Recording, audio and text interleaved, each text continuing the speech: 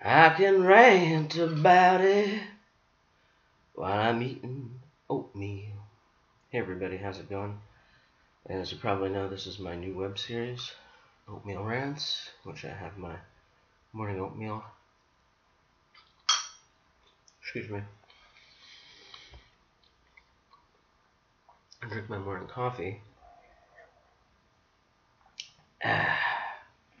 I'm go off on a little rant let off a little steam. Uh, as you heard up top, got a new theme song, which I hope you enjoyed.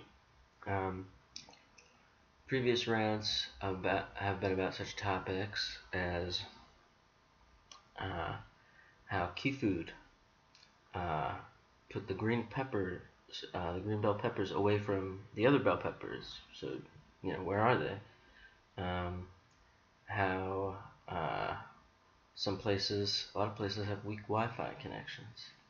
Um, also, uh, I've ranted uh, about how people don't sing Auld Lang Syne uh, like they used to. So you get the idea. Um, today's rant is um.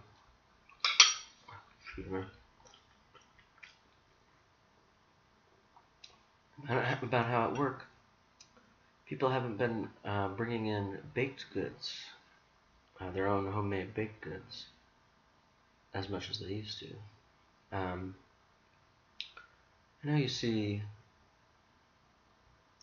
a lot of times uh, the past through rose-colored glasses.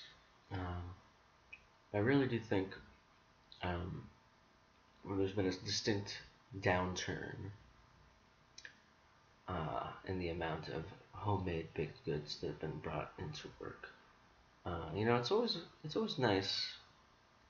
I've got to say, uh, if you go into work, you might not be excited to be working.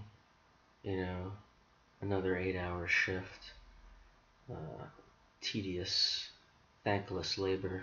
You know, it's nice to have a little homemade treat, a little taste of home, as it were uh, greeting you. Yeah. Have a little snack made for you with care and love by a coworker. Drink a little coffee with that. Mmm. You know. You know I like coffee. And uh, you're good. And you know, I really do think uh, that we could use a little more of that at work. Uh, it does seem like we've gone from what you might call a cornucopia, you know, to a desert, like a, like a food desert, uh, a snack desert. Uh, excuse me. Anyway, that's my wrap for today. I hope you enjoyed it, and uh, I'll talk to you soon.